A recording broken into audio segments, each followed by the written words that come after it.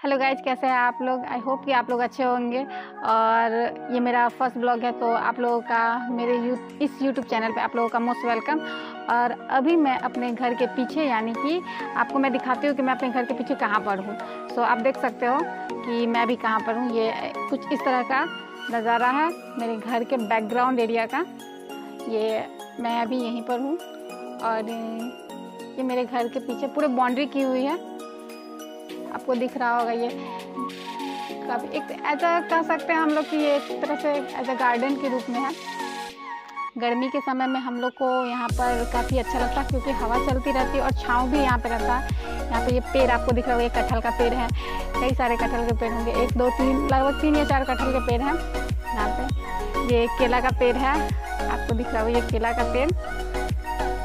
ये छोटा है अभी। मतलब बड़ा नहीं हुआ है। और ये लीची का पेड़, आपको दिख गया होगा, ये लीची का पेड़ है।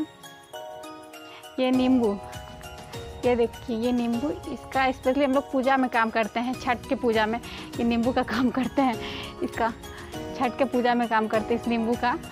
तो आपको दिख रहा होगा ये। अभी ये नींबू का जैसा आप लोग जानते हैं स्पेशली ये छठ में ज़्यादा काम आता है। ऐसे भी छठ तो महापर्व के रूप में जितने फल फूल का यूज़ होता है तो होता ही रहता है। तो ये भी उसी में एक है काम का चीज़। और मैं आपको दिखाती हूँ, ये भी जो पेड़ है ना, ये पता नहीं किस चीज़ का पेड़ है, मुझे मालूम नहीं है, ये किस चीज़ का है। ये ज़मीन के नीचे इसका फल होता है। ये पता नहीं किस चीज़ का, मुझे आइडिया नहीं है। और ये आपको, ये देखिए, ये जो है ओल का पेड़ है, ये भी ज़मीन के नीचे ही होता है। ये आपको और मैं आपको दिखाती हूँ। आंवला का भी पेड़ मेरे पास है तो मैं आपको दिखाती हूँ। यहाँ आप आके देख सकते हो। एक छोटा है एक बड़ा है सो एक ये है, ये छोटा सा और एक उस साइड से है, काफ़ी बड़ा है। वो आपको दिख रहा होगा उस साइड से। वो वाला साइड आपको दिख रहा होगा वहाँ पे। उस साइड आपको दिख रहा होगा वो। आंवला का पेड़ है। अमरुद का पेड़ भी है, पर अमरुद खाना मुझे उतना पसंद नहीं है। बाकी सभी लोग खाते हैं और अगल बगल से भी आकर ले जाते हैं। उन लोगों को अच्छा लगता है इसीलिए। आप, आपको अच्छा लगता है कि नहीं अच्छा लगता, आप कमेंट करके ज़रूर बताइए।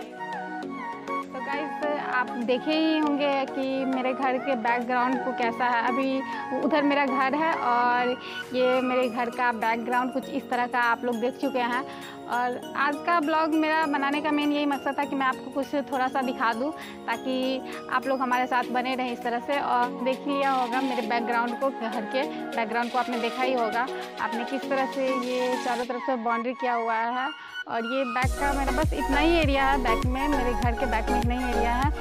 और आपने ये भी देख लिया होगा कि इसमें कितने सारे पेड़ है, नहीं है सो सब आपको दिख गया होगा।